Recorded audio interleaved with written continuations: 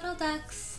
Today we're going to read Puff the Magic Dragon by Peter Yarrow and Lenny Lipton. Puff the Magic Dragon lived by the sea and frolicked in the autumn mist in a land called Honalee.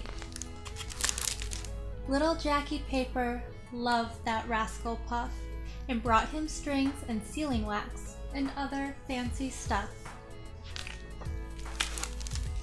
Puff the Magic Dragon lived by the sea and frolicked in the autumn mist in a land called Honalee.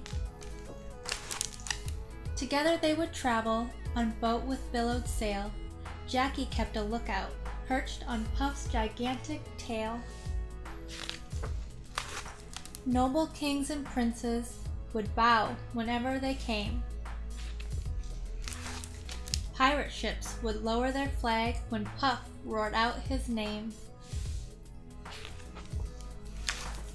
Puff the Magic Dragon lived by the sea and frolicked in the autumn mist in a land called Honalee. A dragon lives forever, but not so little girls and boys. Painted wings and giant's rings make way for other toys. One gray night it happened Jackie Paper came no more, and Puff that mighty dragon, he ceased his fearless roar. His head was bent in sorrow, green scales fell like rain. Puff no longer went to play along the cherry lane.